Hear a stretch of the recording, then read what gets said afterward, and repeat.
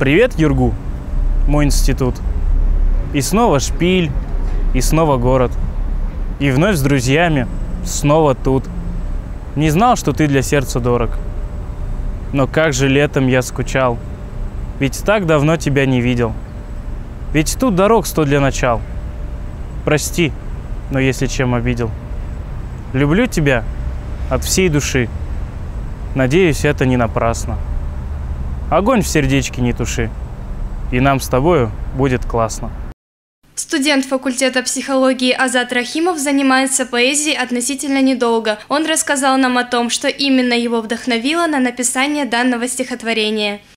На самом деле, э, мне летом действительно не хватало вот этой всей атмосферы, когда ты видишься с друзьями, когда ты проходишь мимо Юргу. И серьезно, за год обучения это место действительно стало для меня домом. И можно сказать, что это в какой-то степени тоска по дому. Благодаря друзьям о хобби Азата уже узнали многие учащиеся нашего вуза. По словам автора, это стало для него большой неожиданностью, поскольку стихотворение «Привет, Юргу, мой институт» было опубликовано ВКонтакте в группе Объединенного совета обучающихся Юргу.